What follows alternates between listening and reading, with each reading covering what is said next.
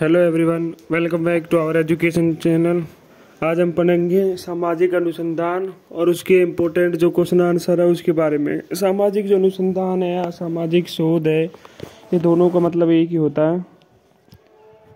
और आज हम इसके बारे में पढ़ेंगे। इसको जो है, दो शब्दों से मिलकर बनाया अंग्रेज़ी के री प्लस सर्च री का अर्थ होता है जो पुनः होता है, द्वारा किया जाता है। सर्च मतलब खोज करना होता है। और इसकी जो परिभाषा है आपको वो याद करनी है। सामाजिक अनुसंधान के बारे में पहले हम बता देते हैं होता क्या है? होता है जो भी हम न, नया मतलब नवीन ज्ञान प्राप्त करते हैं उसी को हम सामाजिक अनुसंधान कहते हैं। और सामाजिक अनुसंधान की विभिन्न विभिन्न परिभाषाएँ दी गई है। जैसे कि जीएम फ्रेशर के अनुसार जो बताया गया किसी समस्या को हल करने या एक परिकल्पना की परीक्षा करने या नए घटनाक्रम या उसमें नए संबंधों को खोजने के उद्देश्य से जो सामाजिक परिस्थिति में जो प्रयोग किया जाता है, उसे सामाजिक अनुसंधान कहते हैं। एग्ज़ाम में अगर हम परिभाषा के जिसने दिए उसके बारे में लिखते हैं तो उसके नंबर अच्छे मिलते हैं इसमें। इन दोनों में से किसी एक को कर सकते हैं। मोजर वाली थोड़ी लाइनें आसान है। सामाजिक घटनाओं व समस्याओं के संबंध में नवीन ज्ञान की प्राप्ति के लिए जो एक व्यक्तिगत अनुसंधान को हम सामाजिक शोध कहते हैं। जो भी सामाजिक घटना या सामाजिक समस्या होती है, उसके बारे में नवीन ज्ञान प्राप्त किया जाता है, उसी को ही सामाजिक अनुसंधान कहते हैं। अब इसकी विशेषताएँ पढ़ेंगे। विशेषता में क्या है? इसकी विशेषता बिल्कुल सरल है। पहली विशेषता यही है कि एक वैज्ञानिक पद्धति के आधार पर होता है ये। सामाजिक शोध के जो संबंध है, वो वास्तविकता और सच से होता है। इम्पोर्टेंट पॉइंट्स यही है इसके कि वैज्ञानिक के आधार पर होता है सच के आधार पर होता है। इसका मुख्य उद्देश्य ज्ञान की प्राप्ति होती है। व्यवहारिक तथ्यों की पूर्ति में इसका योगदान उद्देश्य पूर्ण न होकर आकस्मिक होता है। इसका अर्थ यह कि व्यवहारिक जीवन में उपयोगी बनने के उद्देश्य से मानव का कल्याण करने, सामाजिक सुधार करने अथवा सामाजिक नियोजन करने के उद्देश्य से अपने अनुसंधान कार्य को आयोजित करना सामाजिक शोध की प्रकृति के विरुद्ध है। वैज्ञानिक पद्धति के अनुसार सामाजिक घटनाओं के संबंध में ज्ञान प्राप्त करना सामाजिक शोध की एक नई और विशेषता है। इसकी वैज्ञानिक का प्रयोग ही इसमें सफिस्टिकरण होता है। आगे के पॉइंटों में भी यही बताया गया है कि इसका जो मानव समूह से उतना महत्व नहीं होता है जितना कि मानव क्रियाओं से होता है। सामाजिक जीवन में विभिन्न घटनाएँ, फिनोमिया में सम विभाजन होते हुए भी फ़ंक्शन के आधार पर उन्हें बांटा गया है। और सामाजिक शोध में सामाजिक जीवन व घटनाओं पर अधिक से अधिक नियंत्रण पाने का प्रयत्न करता है। फ़र्स्ट क्वेश्चन यही था। इजी क्वेश्चन है। इन दोनों में से ये सेकंड क्वेश्चन इतना इम्पोर्टेंट नहीं है। सामाजिक शोध को परिभाषित कीजिए और इसके उद्देश्य बताइए। उद्देश्य में भी ये सैद्धांतिक और व्यवहारिक आ जाएँगे। सैद्धांतिक में आप बता सकते हो कि इनके संबंधों को समझे बिना सामाजिक घटना या तथ्यों को समझना कठिन है। जैसे कि अपराध की जो घटनाएँ होती है समाज में, या फिर इसका जो सही अर्थ हमें समझना है, या अपराध व गरीबी, अपराध व गंदी बस्ती अपराध औद्योगिकरण आदि से पाए जाने वाले जो संबंध होते हैं, उनको समझना बहुत ज़रूरी होता है। और जो ये पॉलिंग वी यंग के अनुसार प्रयोगशित तथ्यों के आधार पर अवधारणाओं का निर्माण करना सामाजिक शोध का उद्देश्य है। थर्ड पॉइंट है, सामाजिक जीवन घटनाओं, तथ्यों समस्याओं के विषय में ज्ञान प्राप्त करना ही उद्देश्य है। इसके जो मुख्य पॉइंट्स वही हो जाएँगे जो हमने पहले विशेषताएँ पढ़ी है ना, वही उसके इम्पोर्टेंट पॉइंट्स है। बस इसमें थोड़ा ये डिवीज़न कर दिया है, सैद्धांतिक के आधार पर, व्यवहारिक के आधार पर। व्यवहारिक में यही होंगे कि जितने भी मनुष्य के सामाजिक घटनाएँ व जीवन के आधार पर होते हैं। और सामाजिक शोध में नवीन ज्ञान प्राप्त किया जाता है। इसके बारे में ये पूरा क्वेश्चन है। इसका मुख्य उद्देश्य ही व्यक्ति के बारे में अध्ययन करना और उसके जो सामाजिक घटनाएँ के बारे में अध्ययन करना होता है। नेक्स्ट क्वेश्चन जो है थर्ड क्वेश्चन है, सामाजिक शोध से आप क्या समझते हैं? सामाजिक शोध के विभिन्न प्रकारों का वर्णन कीजिए। इसमें भी जो प्रकार बांटे गए हैं, आप इसको सेकंड क्वेश्चन की तरह लिख सकते हो, लेकिन इसमें मौलिक या विशुद्ध शोध ये बेस्ट पॉइंटों को उसके हेडिंगों को चेंज किया गया है। आंसर में लगभग वही है सब कुछ, यहाँ देख सकते हो आप। क्रियाशिक में शोक होता है, अध्ययन के विषय में समय, घटना समय वास्तविक प्रक्रिया होती है। समस्या, घटना के संबंध में ज्ञान होता है, सहयोग की प्राप्ति होती है। रिपोर्ट को आरंभ में ही आंतरिक रूप ना देना होता है। इसमें ये है कि जो जो गलतियाँ ना करनी हो सामाजिक शोध के बारे में, उसके बारे में हम पढ़ते हैं इसमें। व्यवहारिक शोध आ जाएगा। अन्वेषणात्मक शोध वो होता है, जो हमारा ज्ञान सीमित है और उसके संबंध में हमें आगे की बात जाननी है। ये पाँच पॉइंट बहुत आसान थे इसके। वही आप उन्हीं पॉइंटों को देख सकते हो जो हमने सेकंड और फ़र्स्ट क्वेश्चन में किए हैं। वैसे इसकी हेडिंग इसमें चेंज हुई है, जिसको आप एक बार पढ़ सकते हो एग्ज़ाम देने से पहले। फोर्थ क्वेश्चन जो है, वो भी सामाजिक शोध के महत्व को बताता है। तो महत्व में भी वही यही है, समाज का कल्याण करने के लिए महत्व है, समाज में नियंत्रण, समाज में कल्याण का मतलब इसमें यही है कि जैसे कि हम, जो सामाजिक घटनाएँ होती है, उनको, उनका पता लगाकर जो भी समाज का विकन का कारण होती है, जो समाज को तोड़ने का प्रयास करती है, उसके बारे में यदि हम पता लगाते हैं तो उससे भी समाज को आगे जागरूक किया जा सकता है और उसका महत्व बनाया जा सकता है। नियंत्रण में भी सहायक है। हमें जानना होगा कि समाज में कौन सी ऐसी प्रक्रिया है जो समाज को तोड़ रही है। उसका वास्तविकता कारण ढूंढना होता है। सैद्धांतिक उपयोगिता है। जो समाज शोध आगे बढ़ता है, अज्ञानता पीछे भागती है। इसमें भी जो है, सामाजिक जीवन के संबंध में शोध हमारे ज्ञान की प्राप्ति के बारे में बताया गया है। फोर्थ पॉइंट है, अज्ञानता का नाम। जो अज्ञानता होती है, उसका नाश करना होता है। जैसे समाज में अंधविश्वास होते हैं। और विश्वास यह बोध करने का अर्थ यही होता है कि उस विषय के संबंध में समस्त अंधकार दूर करना है। जैसे भाषावाद, प्रांतवाद, जन्म, कुछ अंधविश्वास। जैसे कि कुछ समूह में जाति को ज़्यादा महत्व दिया जाता है, धर्म को भी दिया जाता है। और उन्हीं के आधार पर, अंधविश्वास के आधार पर कुछ कार्य किए जाते हैं। सामाजिक विज्ञानों की उन्नति में सहायक है।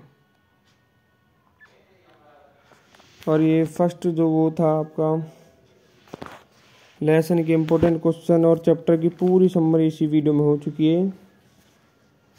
और अब जो आगे का ये पढ़ेंगे हम इसमें, वो पढ़ने वाले सामाजिक अनुसंधान के विभिन्न चरण। तो ये क्वेश्चन भी आता है। इन दोनों फ़र्स्ट लेसन में से और सेकंड लेसन में से कोई एक क्वेश्चन करना है आपको। सबसे आसान, फ़र्स्ट क्वेश्चन भी आसान था, फ़र्स्ट लेसन का जो है, और ये भी सेकंड वाला भी आसान ही। है इसमें बस आप ये कर सकते हो, जो कुछ परिभाषाएँ दी गई है।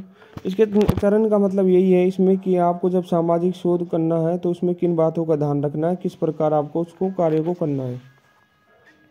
तो जैसे कि जॉर्ज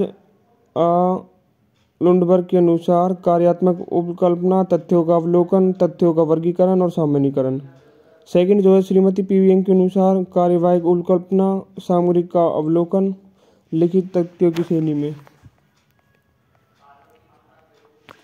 और जो आपका ये प्रोफेसर डब्ल्यू सी शल्टर के अनुसार शोध के क्षेत्र में अथवा तो विषय का चुनाव करना, फिर समस्या के क्षेत्र में सर्वेक्षण करना फिर उसके बाद पुस्तक की सूची निर्माण करना, समस्या को परिभाषित करना, फिर हमें समस्या के तत्वों का विभाजन करना, फिर समस्या के तत्वों को आंकड़ों अथवा परिणामों के साथ संबंधों के आधार पर वर्गीकरण करना, फिर समस्या के तत्वों के आधार पर आंकड़ों तथा परिणामों का निर्धारण करना, और फिर आवश्यक आंकड़ों या परिणामों की उपलब्ध अनुमान से लगाना। समस्या के हल होने की जाँच करना, आंकड़ों तथा सूचनाओं का संकलन करना आंकड़ों व परमाणु का विश्लेषण व निर्वाचन करना। शोध विवरण वस्तु करने हेतु स्वरूप व शैली का विकसित करना। और जो आपको पेपर में लाइन लिखनी है, आप यहाँ से शुरू कर सकते हैं इसको। जब भी हम सामाजिक अनुसंधान के निम्नलिखित चरण हैं तो जिनमें से होकर अनुसंधान का कार्य आरंभ होता है, अंत किया जाता है तो उसमें सबसे पहले हमें उस विषय का चुनाव किया जाता है, जिसका कि हम अध्ययन करने वाले हैं। क्योंकि बहुत सी बार हम ऐसे विषय को चुन लेते हैं, जिसका आगे चलकर अध्ययन करना संभव नहीं होता। और उसका क्षेत्र उसका जो क्षेत्र का होता है, वो असीमित होता है, सीमित नहीं होता है, जिसमें व्यक्ति को आगे चलकर असफलता मिलती है। और वो फिर हँसी का पार्थ बन जाता है। तो इसलिए जब भी अनुसंधान अपने विषय को चुने तो उसके बारे में पहले जान लें और उसका क्षेत्र के बारे में। सेकंड पॉइंट जो है, विषय का चुनाव कर लेने के बाद हमें क्या होता है? रिसर्च बुक बुक्स जो होती है, पुस्तकें होती है, जिन पे पहले अध्ययन किया जा चुका है उस विषय पर, उस, उनको पढ़ना होता है, ताकि उनके बारे में थोड़ा ज्ञान मिल सके। और उससे क्या फ़ायदा होगा कि अध्ययन वस्तुओं के बारे में हमें शोध कार्य की वाली पद्धतियों के आरंभ में ही संभव ने परिकल्पना के निर्माण में और एक शोध से फिर दोहराने वाली गलती नहीं होगी। इसमें ये होता है, जब हमने उस पुस्तकों को पढ़ लेंगे तो उससे हमसे वो गलती नहीं होंगी जो पहले के शोधकर्ता कर चुके हैं। और हमें उसके बारे में थोड़ा ज्ञान हो जाएगा कि हमें किस प्रकार करना है। थर्ड पॉइंट है, इस विषय के बारे में फिर उसको परिभाषित करना होता है। कई बार जो होते हैं, अनुसंधानकर्ता उसको परिभाषित नहीं कर पाते हैं, जिसके कारण फिर उन्हें बाद में उन्हें परिभाषित करने में परेशानी का सामना करना पड़ता है। जैसे कि हम उदाहरण ले सकते हैं कि बेरोजगारी तथा तनाव आदि बहुत सरल पर, सरल वो होते हैं प्रतीक, परंतु यदि हम इन्हें आरंभ में स्पष्टीकरण ना करें तो इनका आगे चलकर परिभाषित करना बहुत कठिन हो जाता है। फोर्थ जो है, सामाजिक शोध का चौथा करण परिकल्पना। है इसका पूरा चैप्टर भी आएगा आगे। परिकल्पना क्या होता है? आप ये, आप इसको शॉर्ट में लिख सकते हो कि हम इसको पहले से ही एक धारणा बना लेते हैं।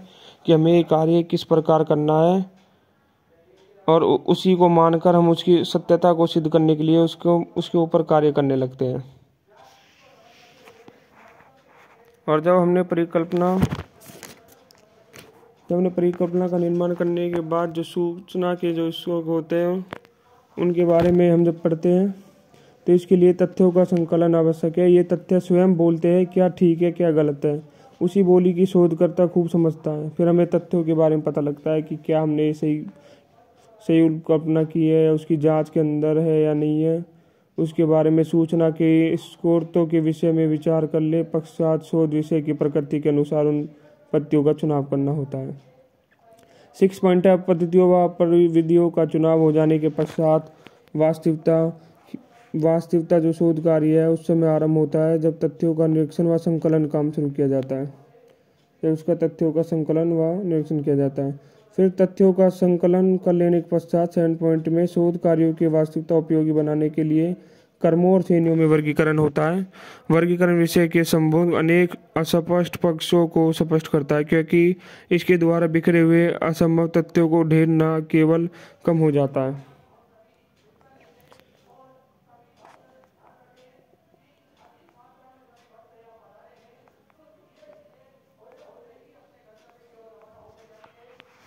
और फिर जो आपके नेक्स्ट पॉइंट है एट पॉइंट है लेस्ट लास्ट पॉइंट है, इसमें निष्करण एवं नियमों का प्रतिपादन सामाजिक शोध का अंतिम चरण है, जो कि